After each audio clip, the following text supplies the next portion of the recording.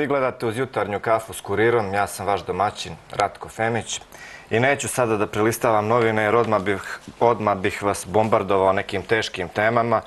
Idemo, sutra je vikend. Hoću da vas upoznam sa jednim festivalom koji će uskoro da se desi u Beogradu.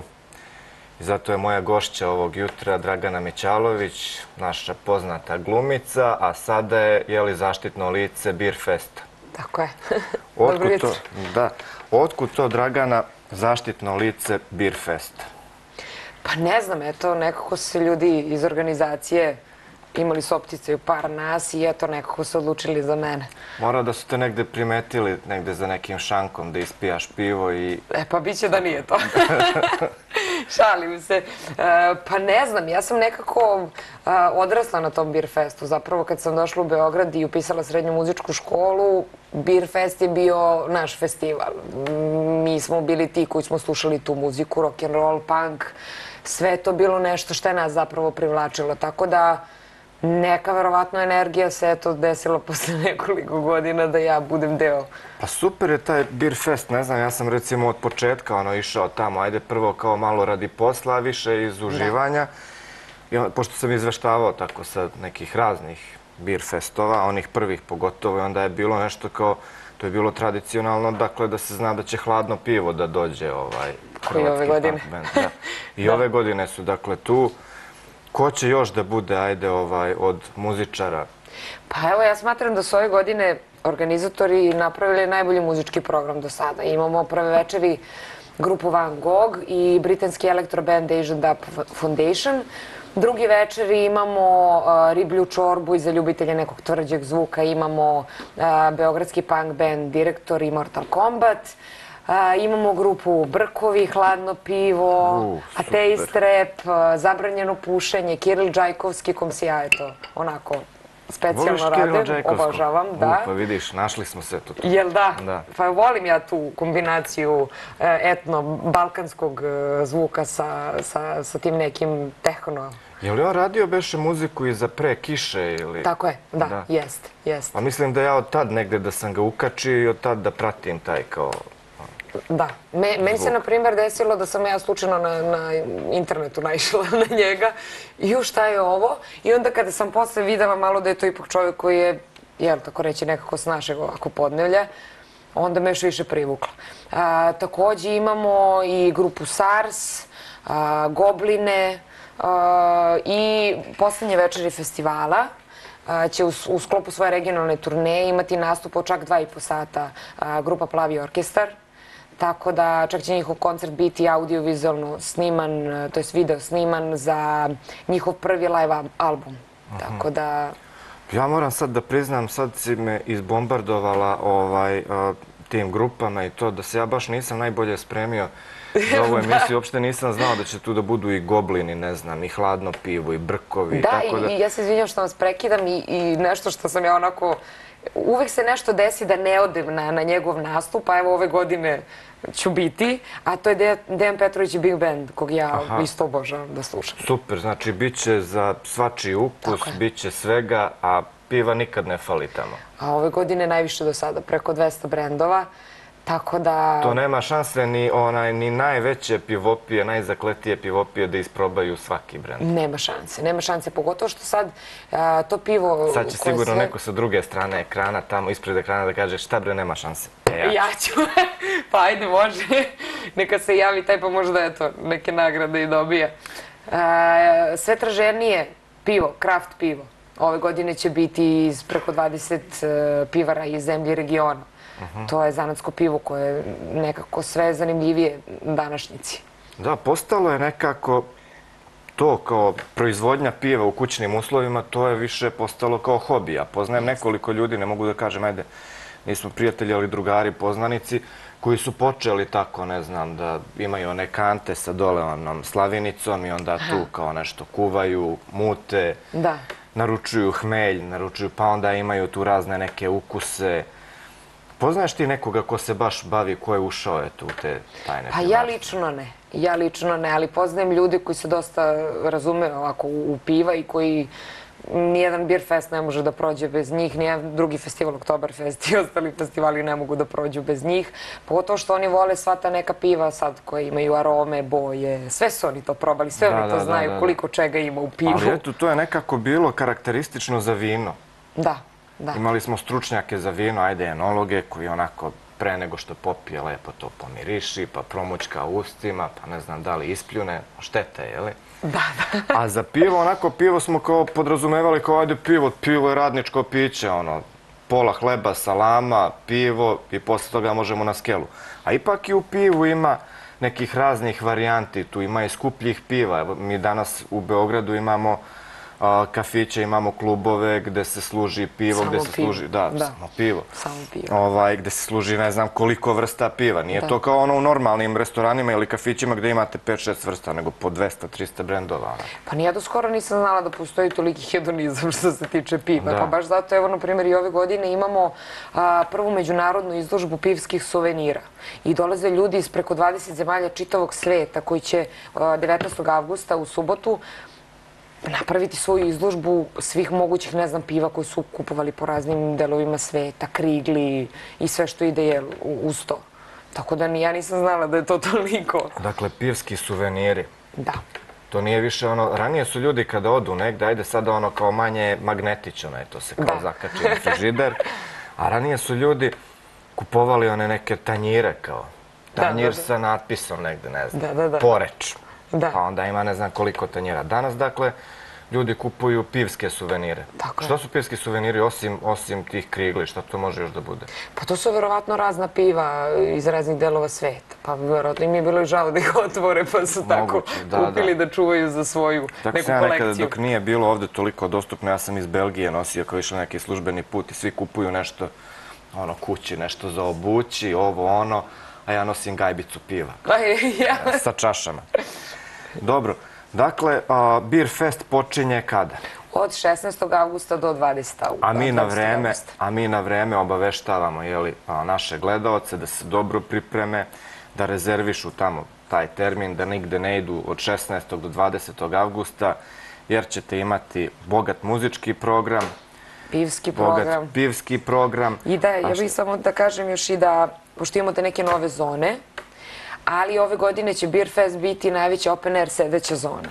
Tako da smo tako nekako pokrili sve generacije, tako da mogu da dođu stariji da uživaju i da ne moraju da brinu kako će s nogama i to, nego mogu lepo da sednu i da, da uživaju.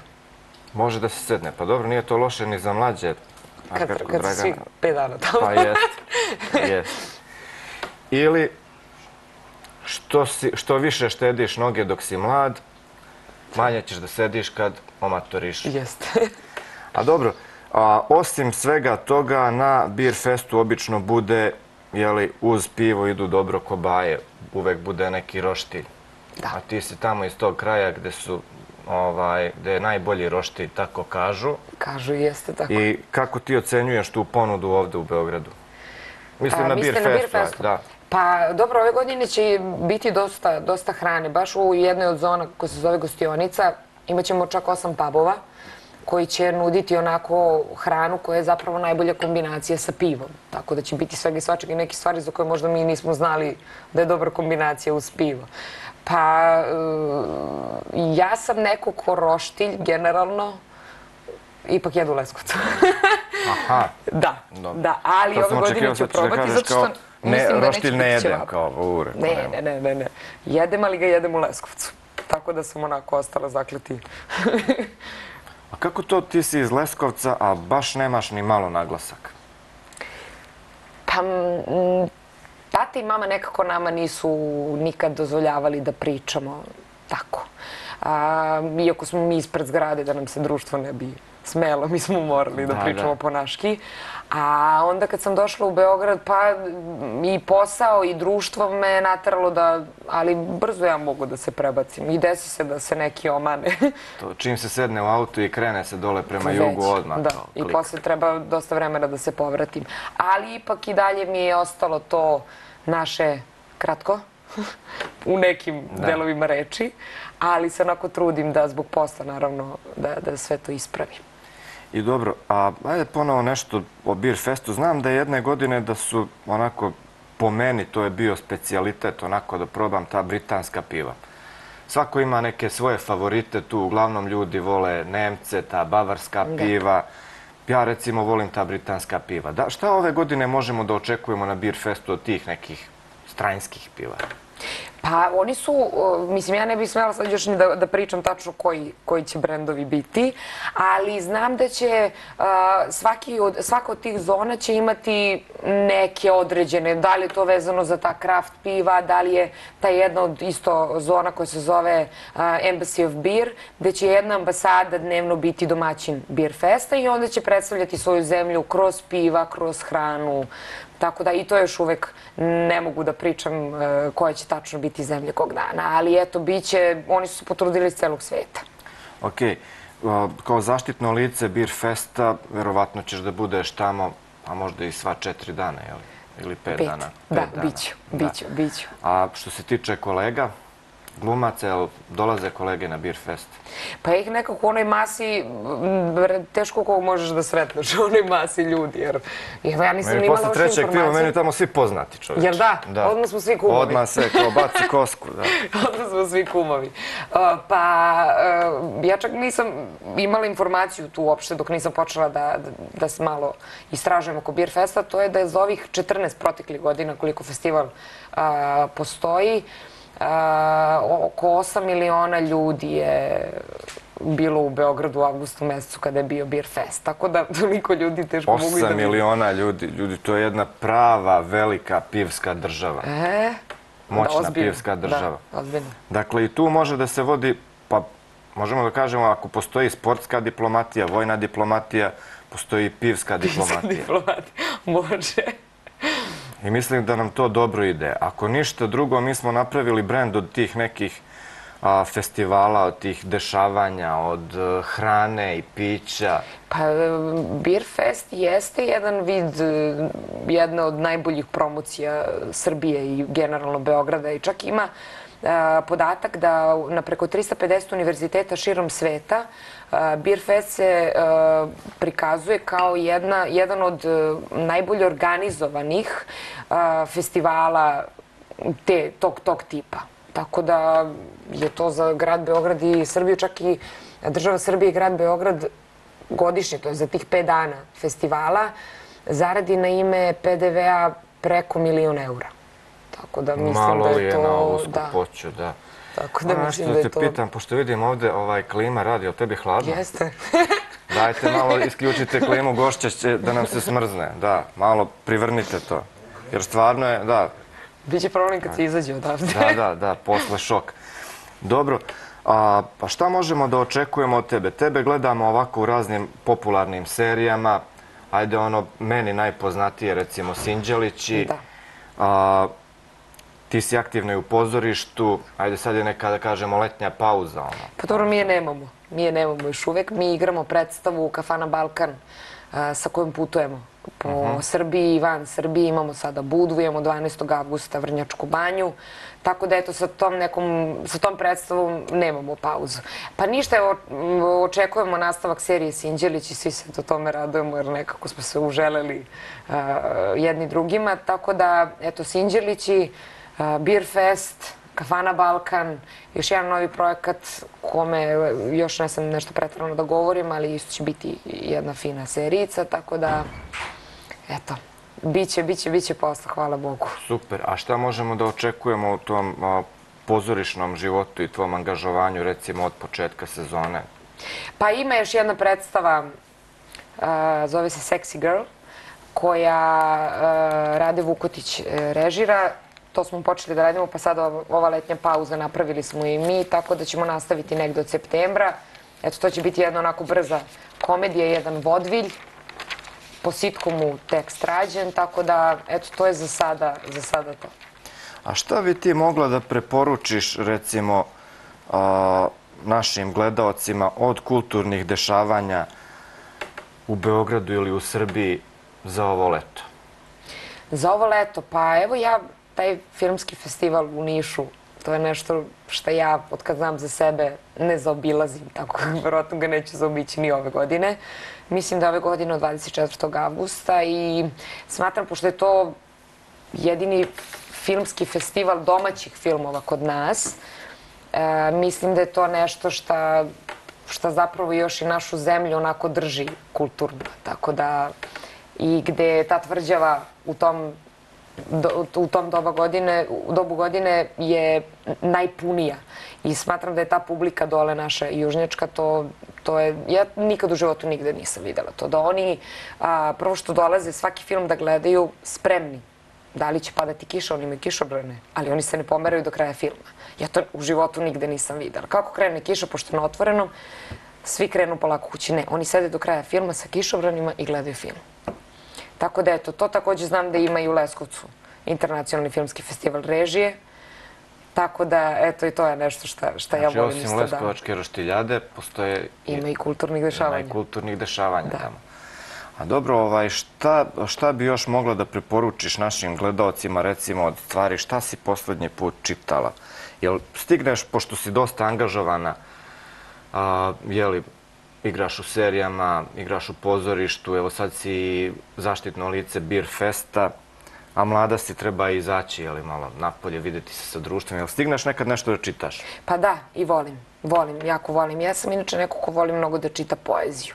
Volim da čitam romana, ali poezija je nešto, makar je čitala i više puta godišnje, ja volim. Jesenjin je moj omiljeni. Zapravo ja, ja Ruse jako volim i to je nešto što mene onako i smiruje. Da, ja volim. To je neki svet u kome ja, u kojem bih ja volila da živim i u kom smatram da bi mi možda bilo malo lepše da sam rođena tada. Ali eto, avanture Nevaljale devojčice, nešto što svima preporučujem. I tako je. I... Ja što sam ja poludeo kad sam to čitao. Mnogo je nevaljala stvarno. Meni je žao bilo tipa tog... ja bih takav film napravila od toga i to je zaista meni knjiga koja me I stvarno preporuka. čitam i se vraćam, ne mogu da, ne mogu da nastavim dalje. A tako, jedna... ova, eto, ja nisam nešto mnogo čitao od Vargasa Ljose, ali kažu da inače čovjek a, gaji takav stil da bukvalno da. zakuca čitaoca za stranicu. Meni je ta knjiga je to nešto što mi je skoro onako ostavio, ostavila veliki utisak. Da vidim šta preporučuje naš kolega iz kurira Ljuba Radanov. Jel poznaješ Ljubu možda? Ne. Dobro, upoznaćete jako dobar dečko da imamo, kaže kultura. Country rock veterani Mekon slave u ponedeljak 40. rođendan svirkom u Beogradu.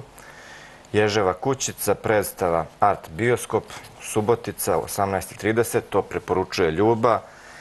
Film u bioskopu Ušću, Porodični čovek. Roman Nenada Rackovića, petogodišnja doba.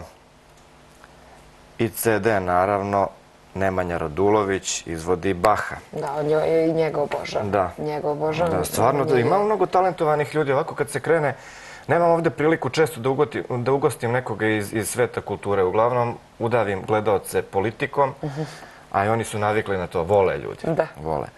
Ali ovaj, kad počne tako da se priča o drugim, jeli, nekim sferama života, o kulturi, evo, na primjer, vidimo da imamo mnogo talenata. Evo, recimo, imamo, Nemanja e, Radulović. Ja obožavam da slušam pijanistu, e, također moj Leskovčanin, Vlada Milošević, u kome eto, čovek koji je profesor na akademiji, koji non stop je u inostranstvu, ima svoje, svoje predavanja, to je zaista uživanje sedeti. Ja bih mogla njega da slušam 24 sata dnevno.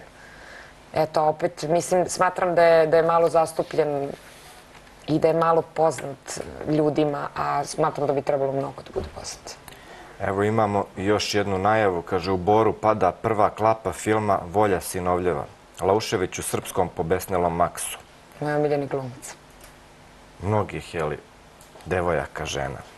Ja sam zbog... Ali i muškaraca, da. da. Lauš je stvarno legenda. Jeste. Imala sam priliku da ga upoznam prošle godine baš na festivalu u Nišu. I nevjerovatan čovek.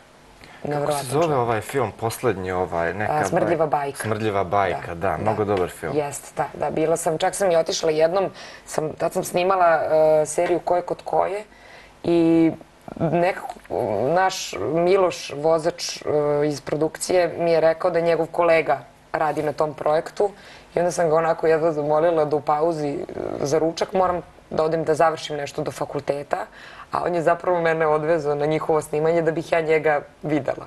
I uspela sam ovako da ga vidim na par metara, ali nisam se upoznala tad s njim. Nisam mogla pošto su snimali, ali ja Ali kasnije si se upoznala nekad? Upoznala sam se na festivalu. Aha. I onda sam morala da mu ispričam to zato što sam se ovako poprilično tresla gledajući ga. Jel imaš još neku takvu anegdotu? Interesantno. To nas se sviđa ovako. Čujemo te, da. Mojih ima toga, ali eto. Evo imamo neke kadrove sa nekog od bivših beer festova. Ovo izgleda SARS.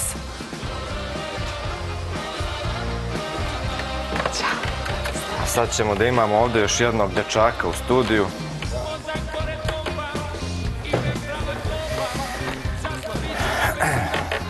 Šta ima? Dosta ima. Dosta svega. Smo pomenuli mi, a, a stani, svega. a reci mi ovaj... Ja sam čekala da dođe on. Da, da. E, sad tamo također kao šlag na večer. tortu, to ćemo da... A stani, a, sa bendom Dead So, jeli? Ćemo sad da budemo malo... Evo. Imamo još jednog gosta, ko je ovaj nevaljali dečko srpske rock scene, Đorđe David. Dakle, prvo veče nastupa na Beer Festu sa svojim bendom Dead So. Dobro, Đorđe, šta možeš da nam obećaš? Sigurno neka dobra svirka. Niko nije obećao lošu svirku, je li? Pa, ovaj, mislim da svi koji se na scenu popnu trude se da daju najbolje, ali kada je Beer Fest u pitanju, onda je to onako uh, jedan jako dobar plasman, jedan jako dobar marketing za svaki band, bez obzira koliko je band veliki ili mali. Sa svojom tradicijom Beer Fest uh, iz godine u godinu je pokazivao ne samo kako raste, nego kako postaje ozbiljniji, kako sa nekakvim svojim idejama uh, rock and roll zapravo publici predstavlja kao priču koja nije, kako je to uvreženo mišljenje, onako kao prljava, raf, a, kako je to priča koja ide a, kontra sveta i tako dalje i tako dalje. Postoje tu raznorazne akcije koje su fenomenalne. Ali vi rockeri izgledate kao raf ovako. Evo, pogledaj, pogledaj sebe, vidi koliki si. Ajde da I šaran ovako, ajde da voziš motor, je li?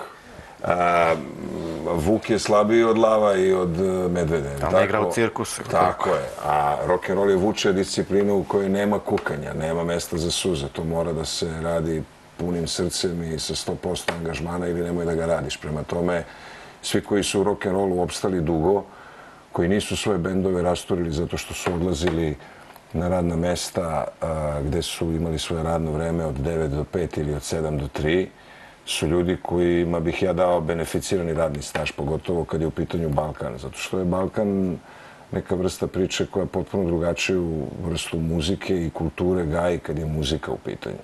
Oni koji su u rock and rollu zaslužuju, kao što kažem, stvarno posebnu pažnju. A, pogotovo što je zahvaljujući medijima rock and roll zapravo doveden negde Eh, rame uz rame, ja bih rekao, sa operom, sa baletom. Eh, nažalost, evo, koleginica je moja mlađa preko puta mene, pošto sam i glumac za ljude koji ne znaju. Čak je i pozorište dovedeno u taj rang da je, kad su mediji u pitanju, eh, vrlo skrajnuto.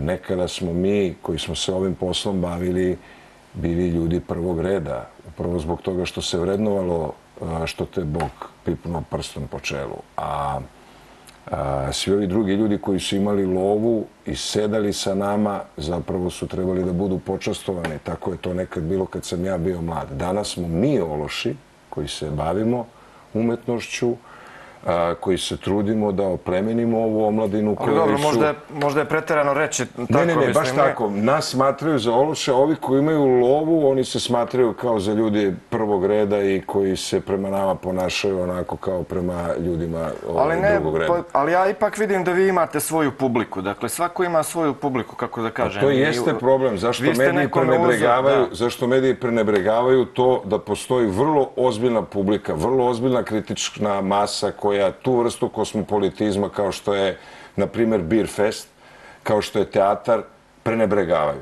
Mislim da mediji onog trenutka kad se budu vratili na tu priču koju ja zovem koreni, ovaj, a, mogu da promene gomilu stvari na bolje kada je omladina u pitanju. Ja neću da idem dalje, politika me ne interesuje. Beer Fest je nešto što vaspitava omladinu. Beer Fest je nešto što godinama pokazuje da ta vrsta priče i taj rock and roll definitivno jeste nešto što je omladini tekako potrebno, nešto što je odraz romantike, nešto što je odraz emocije, odraz lojalnosti, odraz pripadnosti. Ja mislim da je Beer Fest kao i svaki drugi rock and roll festival. Sad sam se naježio od, od, ne, od ali realno, rekao. to su stvari koje, koje omladinu i tekako vaspitavaju i određuju i nekakve prave smernice što su prave strane. Jeste, to ja kažem zato što ja baš kada ono što sam malo pre rekla, kada sam došla u Beograd s 15 godina i upisala srednju muzičku školu, Beer Fest jeste nešto gdje smo mi odrasli i što smo mi smatrali da je to najbolje za nas i da se mi odvajamo od ostatka naše generacije jer smo mi odrasli i slušali tu muziku, smatrali da je to kvalitetno kao što jeste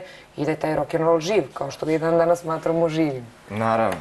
I pokazuje, uh, Beer Fest i slične manifestacije pokazuju da je rock jako žilav, jeli, da se ne da i Kako da napreduje. ne? I da Kako napreduje. ne? Ja bih rekao čak i koščat. Koščat. Sa jako puno zuba koji grizu i ne daju baš tako lako da nas ovaj unište. Grad Beograd je ovaj definitivno Beer Fest shvatio kao svoj bedž. Možda jedan od najsvetlijih bedževa ovaj, ovoga grada, pogotovo kad je letna sezona uh, u pitanju i ponuda.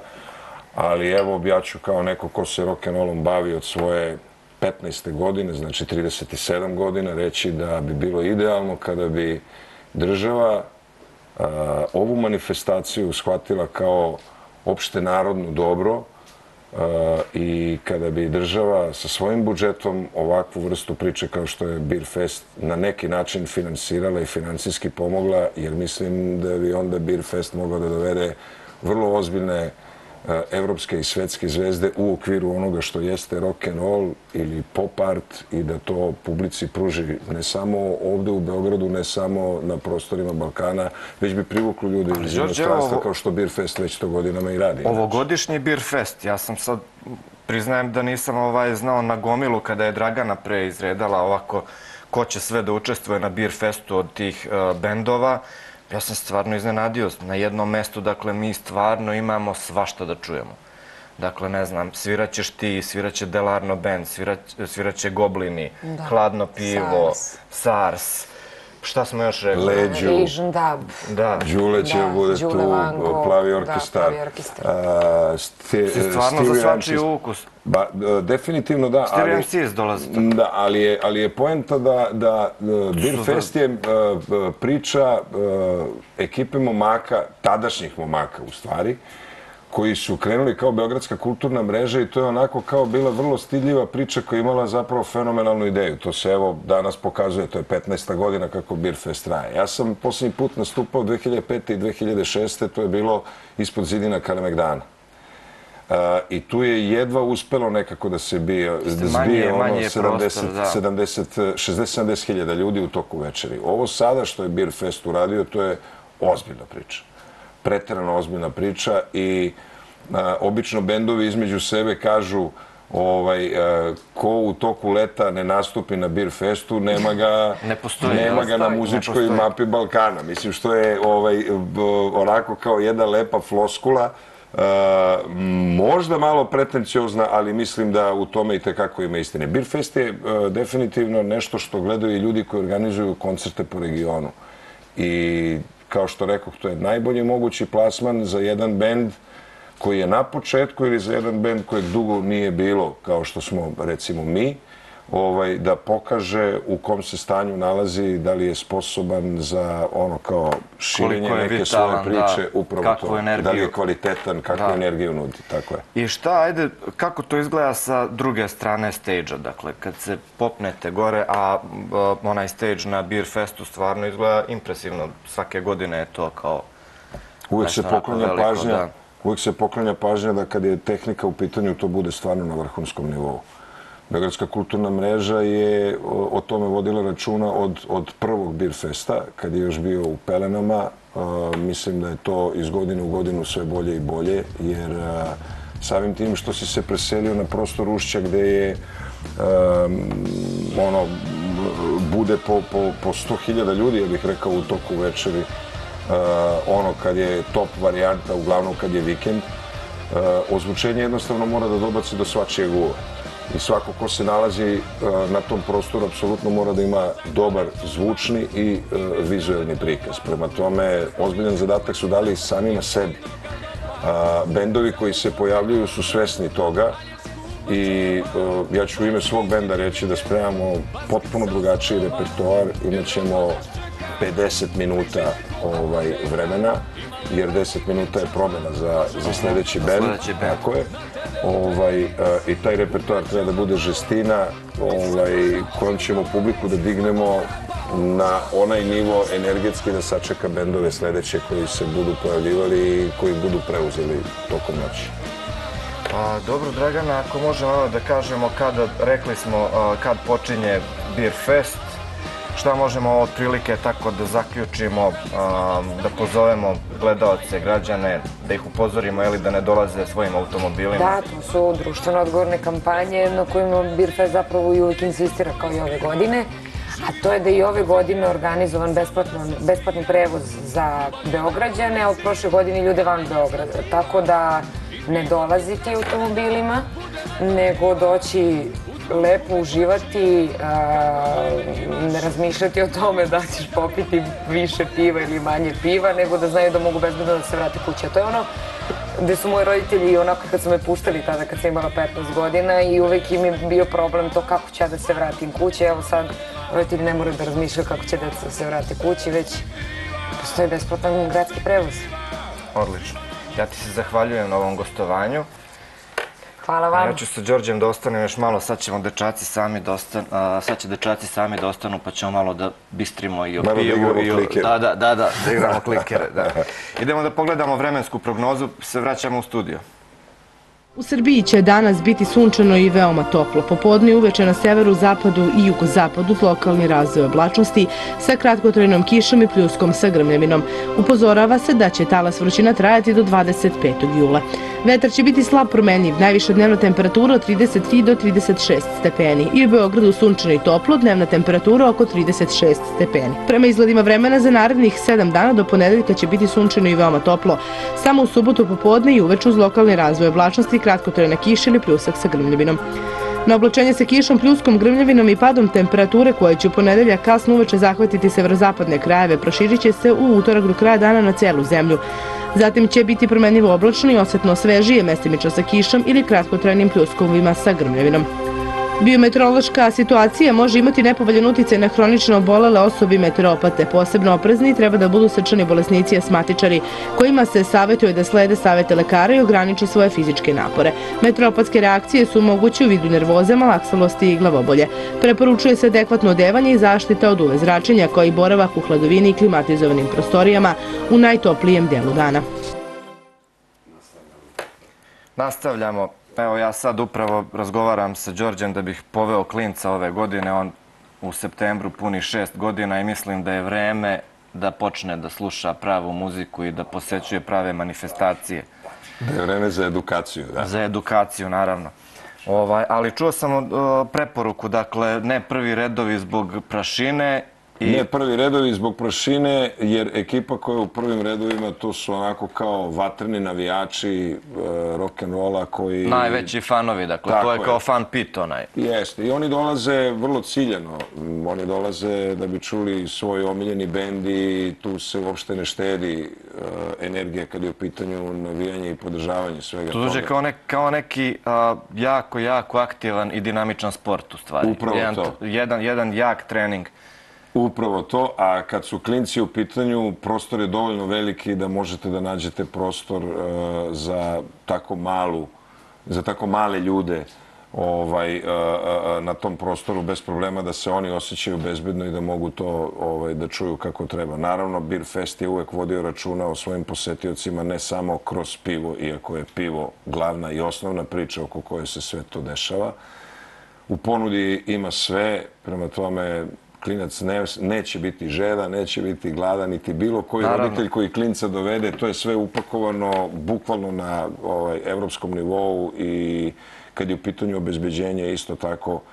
Ovaj, naravno, pokazalo se uh, u posljednjim godinama da ovaj, obezbeđenje svoj posao radi odlično. Naravno, na toliku masu ljudi uvek može da se desi nekakav konflikt. Da, ali nije odavno. Sećamo se da je jednom ono bilo i od tada da su, da su stvarno pojačane mere bezbednosti, da posle, ja eto koliko idem na taj Beer Fest, nikada nisam imao neku neprijatnost tamo. Ne, ne, nema šanse da ti se... Pa, znaš kako kažem, e, Srbija 21. vek ili Balkan 21. vek, evo ovo što smo doživjeli da se desi ispred e, centara za socijalni rad. Naravno. Pazi, to su ustanove koje apsolutno garantuju... I koje bi trebalo da vode računa o tome. To, ali desi se, ludak se uvek pojavi iz kutije i napravi glupost. Ali, kažem, Beer Fest e, upravo o tome vodi računa. Povišena temperatura, alkohol, rock'n'roll, adrenalin radi. 15 godina, za 15 godina koliko traje Beer Fest, to je recimo po pet dana, da izračunamo koliko je stvarno ljudi bilo ovaj, posetilo Beer Fest,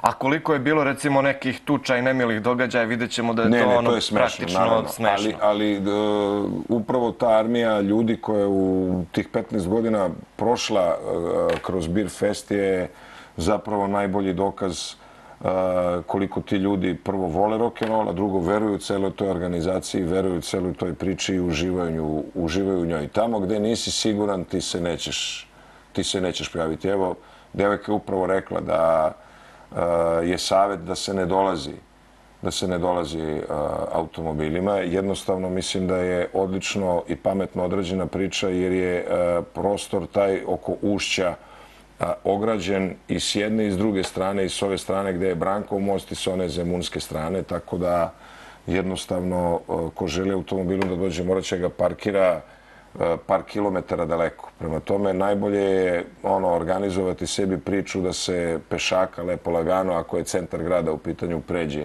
preko Brankovog mosta ili ako je u pitanju Novi Beograd i, i Zemun, jednostavno m, postoje ti veliki prostori gde može da se parkiraju i autobusi i vozila ispred Sava centra. To su ozbiljna parking mesta. Uh, urađeni su parkinzi sada i ovde u ovim prvim blokovima kod Sava centra koji su zaista ogromni i široki gde može gomila, gomila ovaj, vozila se spakuje prema tome. Pojenta je doći sa pozitivnom energijom, pojenta je doći i biti svestan da će se slušati rock and roll i da će sva ona ikonografija biti tu. Vole li rockeri pivo? U stvari pivo ide u sve žanrove, ali ovaj vole rokeri pivo, ali evo ja ću reći, ja sam, ja mislim, jedan od redkih izroda koji alkohol ne pije. Ja sam čovek koji se, ovaj, koliko je moguće, bavi tim nekakvim zdravim pristupom, jer eh, način na koji mi tu priču vodimo zahteva dosta fizičke kondicije, e, cela priča je poprilično zahtevna, kako je to Aleksandar Mitrović, koji je gitarista, kompozitor i aranžer u bendu, ovaj, napravio i diktira već godinama, iako su svi mlađi od mene, tako, dovoljno imaju znanja da ja to moram da slušam. To Apsolutno, svako ima svoje. I ovaj, pivo, ja kažem ovako, rock and roll, Ford Mustang, pivo, kaubojke, eventualno klope, klompe, Levis, uh, Marlboro. To je kao neka priča koja je plasirana još iz Velike Britanije, Sjedinjenih američkih država u ono vreme kad sam ja stasavao. Mislim se nisu mnogo stvari promenile do dana današnjeg s tom razlikom Ali vidimo da ima izuzetaka. Evo ti izgledaš ovako ti pojavom kad te čovjek vidi kazat će ovaj neki rocker ili bajker ili ne znam. A u stvari si jedno i drugo, ali ne piješ alkohol, jel? Pa meni to ne prije ja jednostavno nekako tu priču ne nalazim, ali zato ne bih nikom savjetovao da me pozove ovaj, ako slavi rođendan negde u nekoj kafani ovaj, kao gosta, zato što slatkiša mogu da pojedem toliko koliko para u novčaniku ti nemaš. Svako ima svoj neki porok, tako. Meni su slatkiši porok. Ja, ja otkidam na kolače, otkidam na slatkiše, otkidam na sladoled i to je moj porok i šta da radim. I to sad kad su letnji meseci izbegavaš, jer tako, pošto se radi dosta, dosta festivala ima, ovaj, band će dosta stvari raditi ove godine, ovaj, dosta tih nekakvih festivala, ali evo, o Beer Festu pričamo, ja moram da pomenem da ćemo 4. avgusta nastupiti na ovaj ove Load festivalu u Vladičinom Hanu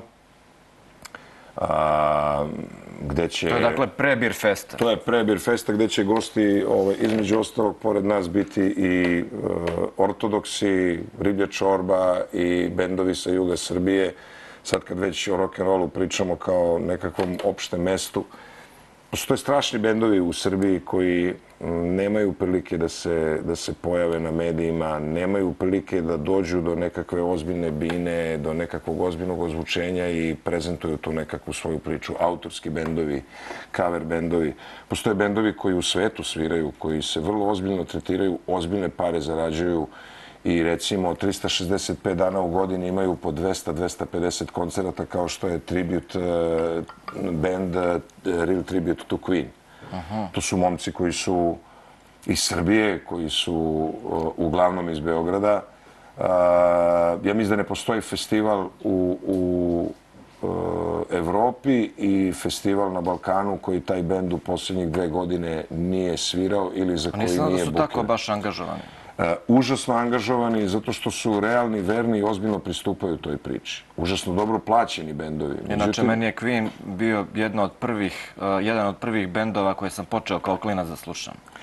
Pa to su nekakve, ja bih rekao, crkve rock'n'rolla. Postoje bendovi koji su crkve rock'n'rolla. Jedan od tih bendova definitivno Imamo jeste Queen. Imamo nekoga na liniji da vidimo uh, šta kažu gledalci na ovu našu priču. Dobar dan, izvolite. Dobar dan, pozdravljam vas i vaše goste. Hvala. Drago mi je da, da ste pozvali ovakve goste. Pozdravljam ovu divnu devojku, pametnu gospodina isto i da vam kažem da sam ja baka od 70 godina koja sluša rock and roll. Bravo, gospođo, svaka čast. Uživam. Meni moja, moj unuk kad kaže drugovima njegovim šta baka njegova sluša, oni ne mogu da se načude. I pozdravljam vas, želim vam sve najbolje i daj Bože da što više bude ovakvih emisija i, i, i muzike ovakve kao što zastupaju gospodin ovaj mladi mladi, dobro, mladi smo svi. Pozdravljam vas prijatno. Prijatno. Hvala lepo, baku. Daj Bože da su sve bake u Srbiji. Ma da, meni je puno ovo. srce, da. Ovo je Ali dobro, to su generacije, to više, kaže, 70 godina. Pazite, to su ljudi koji su nekad slušali dobru muziku. To je ono zlatno vreme rock'n'rolla.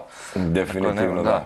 Definitivno da. Pa ona je očigledno svoje prve poljubce i svoje prve velike ljubavi doživljavala uz e, Cepeline, uz Rolling Stonese, uz Beatles. Creedence, Clearwater Revival. To je ta, to je ta da. priča i divno je što uh, Baka nije dozvolila da je vreme zgazi. Eto još jedna potvrda da bubanj, bas i gitaru ne može da pobedi nikakva tehnologija, ovaj, da je to jednostavno tim koji dobija uvek na svakom meridijanu, u svakom prostoru, u svakom vremenu.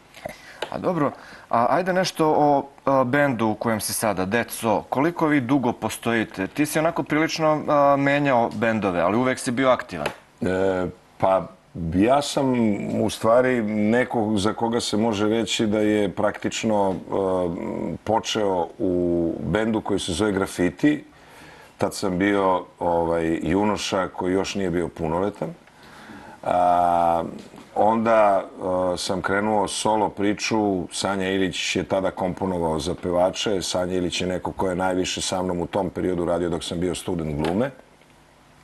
Mesa mi, uh, Beogradska proleća, silne nekakve nagrade kao čovek koji nije imao nosar zvuka. Uh, onda me preuzima Topić koji mi tu nekakvu, uh, ja bih rekao, taj nekakav final cut, tu nekakvu realnu Eh, ljubav prema rock and rollu definitivno ukucava i u srce, tetovira i na dušu i, i u glavu. Ovaj, I ulazim u generaciju pet u kojoj sam bio deset godina. Posle toga a, nastupam kao Đorđe Daviten Gang. Tad upoznajem Aleksandra Mitrovića. A, taj album sam snimio sa grupom Fuzzbox i sa Aleksandrom Mitrovićem sam praktično do dana današnjeg u toj nekakvoj priči. Nastupali smo kao Đorđe Daviden Gang do 2008. godine, a onda smo na motoskupu u Bijeljini prvi put nastupili kao Death Saw ili smrtonosna testera i 2010. u decembru mesecu pojavio se i album koji je bio u izdanju Power Musica gde smo radili devet pesama na engleskom, četiri pesme na srpskom jeziku. Naravno, to na engleskom se ispostavilo kao jeres na ovim našim prostorima. Mada mislim da je to jezik koji nekako To je onako- univerzalan jezik, pogotovo, pogotovo za tu... za tu to, vrstu da. priče. Međutim, ovaj, pošto nam je hleba potrebno svima, je li tako? Ako smo se odlučili od muzike da živimo, onda moramo da se obraćamo uh, publici uh, sa podneblja gde i mi živimo i stvaramo. Počeli smo rad na novom albumu koji će biti zasnovan na ovaj, nekakvih e, 5-6 obrada. E, sponzori su se pojavili koji su vrlo zainteresovani upravo zbog toga da e, album sponzorišu i gde ćemo jedno, tri, četiri autorske stvari. Tomi će raditi muziku, ja ću raditi tekst, izbaciti u okviru toga i plasirati ovaj, ja mislim negde do kraja ove godine do, i početka sledeće 2018. nekakav pilot ćemo sigurno izbaciti ono do jeseni. A zato što nam je, kažem, sad sezona u okviru koje imamo dosta stvari da uradimo u planu. Imate i nastupe, dakle. Pa imamo i Vladičin Han, kao što sam rekao, taj Overload festival, imamo i uh, Zubin potok Kosovo, imamo Gračanicu Kosovo, imamo samo da se setim uh, Vrnjačku banju, uh, Kraljevo, uh, Belu Palanku, Pa naravno Beer Fest da. uh, 16. Posebno mi je drago što posle dugo, dugo vremena se pojavljamo na Beer Festu Ovaj, I tu smo još dobili takvu čast da je to prvi dan, da je to otvaranje u 8 sati. Mislim da je to ono kao vreme koje, koje je fenomenalno za početak. Za početak Mnogo će ljudi moći da nas čuje. Pa mnogo ljudi će moći da nas čuje, pogotovo što taj album baš nešto nismo ni uspeli ovaj, jako ovaj, dobro da ispromovišemo. Kažem, ispromovisali smo ga koliko smo mogli, ali ne na taj način. Mislim da je jedna od e, bitnih stvari koja je propust upravo to što se toliko dugo na Beer Festu nismo pojavili, a taj album je ovaj, bio tu. Međutim, publika uvek nađe način da to čuje. Sad ćemo to Sad ćemo uraditi. to da popravimo, Tako da vidimo šta kažu naši gledaoci. Dobar dan, izvolite. Halo, u programu ste. Dobar dan. Dobar dan. Dobar dan. Dobar dan, izvolite. E, Deda Aca, malo mlađi od ove gospođe što se malo prejavila, da pozdravim našeg srpskog Davida Coverdale-a U, i da mu poželim sve najbolje. U stvari da budem precizniji, mešavina Davida Coverdale-a i Paula Rodgersa, ako znate ko je to. Kako da ne. Znate, Evo i kamerman se smeška. I, Ovo je sve, ozbiljan kompliment. I sve mu najbolje želim, samo neka nastavi da prži dokle god može. Hvala lepo, Eto, obećajem da pozdrav. Pozdrav. Hvala što ste se javili. Eto, kakvi komplimenti. A ovo je stvarno ozbiljan kompliment, pošto su to dva, ovaj, pričali smo malo pre o crkvama rock'n'rolla, njih dvojica definitivno to jesu. Kordel je neko ko je, mm, za one koji ne znaju, jel tako, e, iz Deep Purple-a e, otišao u priču koja se zove White Snake i to je priča koja traje do dana današnjeg.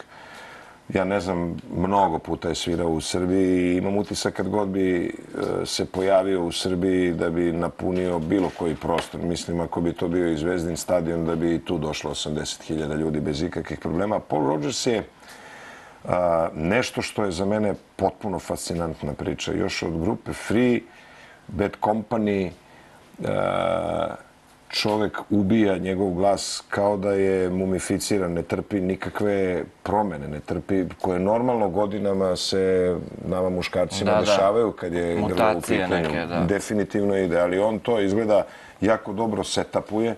Ne znam na kakvim je pilulama, voleo bih lično da znam, ali poslednje šta sam a, uspeo live da čujem kad je on u pitanju, to je gostovanje sa a, Queenom, Paul Rogers i Queen, i to je nešto što je fenomenalno. Čovek sa toliko godina koji tako peva i tako izgleda definitivno je nešto neponovljivo u, u, u ovaj novijoj, novijoj istoriji svetskog roka. Imamo još jednog gledaoca na vezi. Dobar dan, izvolite. Dobar dan. Izvolite. Nebojša iz Bora. Izvolite, Nebojša. Veliki pozdrav za Beer Fest i za vas. Sve Hvala. studiju.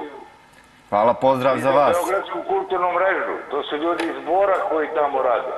Tako je. Bravo. E, Čovek koji je na čelu Beogradske kulturne mreže, za one koji ne znaju, verovatno će se ljutiti što ja sad to kažem, ali evo, vi ste inicirali, to je Vanja Maslov.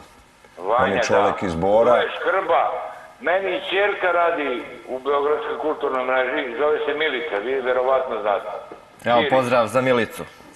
Znam. Znam Ona- i super je. Ona isto radi sa njima, tako da ja sam bio prisutan više, više puta na Beer Festu. Ove godine Jeste dolazili zbog muzike ili zbog piva? Ne pijem pivo. pijem vinjak i pijem šprice. Ako vas to mislim ovako. Ako je to baš toliko bitno. Pa bitno je. Pa eto, pijem vinjak i šprice. Ali, ali ovaj, pivo, pivo mi je gorko nekako i onda ne pijem pivo. Ali volim rock. Deca su mi vaspitavana u tom duhu. Tako da, da uopšte nemam nikakvih problema što se toga tiče. Kad dođu, kad dođu nekad u Bor, tako, Marija, Milena, Milica, kad dođu, onda si damo slušati to. Super. Htio sam da podržim taj Beer Fest. U moje vreme su dolazili Deep Purple. Uh, ako, ako pa, ne Deep Purple, dolazili su ovaj, m, kako se zovu, 74. godine. Bio je čak i Carlos Santana i 72. Purple je isto bio, ja se izvinjam, mala digresija, Purple je isto bio u Beogradu, uh, u, uh, ispred hale Pinky i Ne, kad je. Coverdale pevao. Dolazili su oni u moje vreme tad. I to je bilo nešto... O, ovo je prava manifestacija. Pravi, prava manifestacija srpskog rock'n'rolla. Hvala vam, Nebojša, hvala što nas pratite redovno. Ja sad vidim, stvarno su me ohrabrili ovaj, gledalci. Ja mogu ladno i koncept emisije da promeni malo da ubacimo i muzike, neke rock muzike, pošto sam ja ušao ovde, već je format bio gotov, neki drugi zvukovi su se čuli, ali pošto vidimo da ljudi prate i poštuju to što mi slušamo, ovaj, mogli bismo da ubacimo i neke nove zvukove. Jel? Definitivno, definitivno da. Ja bih voleo kada bi se televizije malo više okrenule, zato što koliko god to sad zvučalo ovaj, blesavo, malo kaskamo za svetom. Internet je definitivno preuzeo priču i mladi ljudi muziku slušaju i sve nekakve takve obavesti kad su festivali u pitanju uzimaju preko interneta. U Srbiji je još uvek televizija number one. A šta je sa spotovima, Đorđe? Jel nešto snimate? Jer danas se muzika i gleda koliko vidim. Spot mora da se uradi. Spot je nešto što se zove jedan kroz jedan. Ti danas e, muziku, bez, odnosno album bez par spotova, nikako nećeš moći dobro da ispromovišeš i moraš se potruditi da u svaki kutak gde god postoji najmanja televizijska stanica na Balkanu sedneš lepo u auto i sve to odradiš. Ljudi kažu ne, ne treba ti auto, to lepo pošalješ ono, e, putem pošte, to sve sad e, preko interneta može da stigne. Međutim, ja sam ono kao čovek koji je starovremenski starover. Ja volim da sednem u auto, da odem kod urednika ili kod novinara, novinarke, da sednem, da e, napravimo nekakav razgovor ispred televizijske kamere, da se taj spot pusti i onda sam siguran da će neko već tu tvoju žrtvu da se pojaviš, ovaj, e, umeti da vredne. I uglavnom se ispostavi da je, da je to tako. Đorđe, hvala na ovom gostovanju i evo, mogli bi ovo češće da praktikujemo, pošto vidim da i gledaoci dobro reaguju na, na tebe. Mogli bismo malo o rock'n'rollu da pričamo, da proširimo ovaj, malo priču, pa ja tako obećavam da ću da te pozovem još neki put, a ne samo u vezi sa Beer Festom. Ja ću samo na kraju da ti kažem da je točak najveći ljudski izum i da se stvari non stop okreću. I mislim da lagano sada dolazimo u poziciju da se svet polako vraća svojim korenima i da rock and roll ponovo čak i u svetu dolazi u žižu, da ne bih sad se pravio pametan i pričao koji su to bendovi u pitanju, ovaj, ali definitivno prva televizija koja se rock and rollu bude na pravi način okrenula, uzet će primat ovde na našim prostorima. Hvala na ovom gostovanju. Hvala vam na pozivu. Pogledat ćemo vesti, se vraćamo u studio.